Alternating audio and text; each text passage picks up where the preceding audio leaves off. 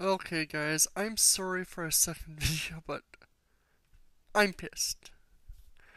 This is yet another example of just how evil the Republican Party can be, at least those in power. Every day now, I hate the United States a little bit more. I love you Americans, I love the American people, but the government and many of those people are just pure evil.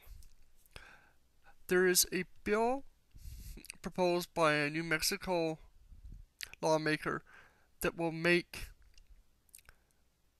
abortion illegal in the case of rape and incest because that's tampering with evidence. Yeah, think about that for a second there. So the woman is going to be forced to keep that baby till till it's born because you know a lot of these trials go longer than that. Yeah. This is just a way to try to get around Roe v. Wade. Of course, their excuse is that, you know, no, no, because you, you know, the woman might be forced by the rapist to, um, to have an abortion to hide, you know, evidence. You know, not that you can't, you know, it's not like you can take DNA evidence from the fetus before it's you know, aborted or anything like that, or any other way to get evidence. No, no, no, no. It's all about destroying the evidence.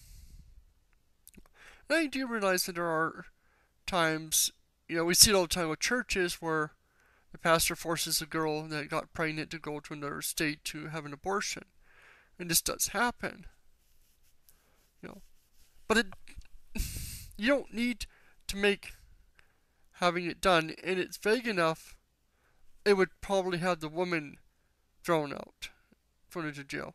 So this has nothing to do with protecting women. This has to do with making it illegal. Link below to the article and link below to a video by um, Dennis. Oh, forget his name now. um, Dennis Trainor Jr. who does the videos.